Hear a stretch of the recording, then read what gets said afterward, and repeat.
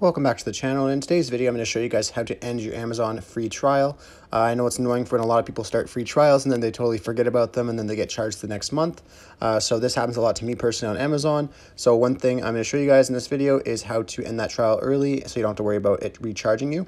So all you have to do is go over to your Amazon application and open that up. Uh, once the application is open, you can go to the top left corner and click on the three lines. And then here you can see, go on and click your account. And then once you're here, it's gonna uh, there's gonna be under account settings, you're gonna see manage Prime membership. So you wanna click on manage Prime membership. And then once you're here, you can click on the manage membership with the toggle down. And then it'll give you three options, Prime plan, renewal date, and membership. Uh, you wanna click on manage membership. And then as you can see here, it gives you an option to end your membership, or you can either set a reminder on three days before your renewal date just to let you know to end it. Uh, I already got my item, so I'm just going to end it now. So you just click on end trial and benefits. And then it's just to try to get you to stay, just let you know what you're losing and stuff like that.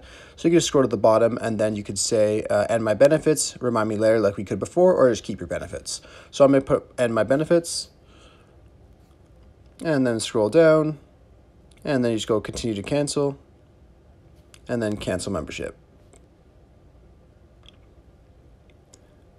And it's as easy as that. I really hope I was able to help you guys out with this video. If I was, be sure to leave a like and subscribe for more tutorials. Thanks for watching.